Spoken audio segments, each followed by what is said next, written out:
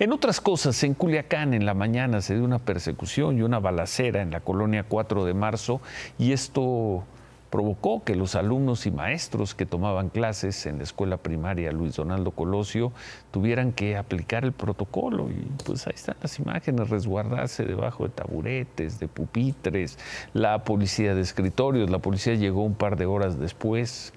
la dirección del plantel reportara los hechos, ya se había avisado a los padres para que pasaran por sus hijos, en fin. La Secretaría de Educación Pública del Estado desestimó los hechos una vez más, eh, dicen que la balacera fue lejos de la escuela y que no llegó la policía pronto para no generar más alarma. Según la Secretaría, existen condiciones para continuar las clases, las clases presenciales en Culiacán.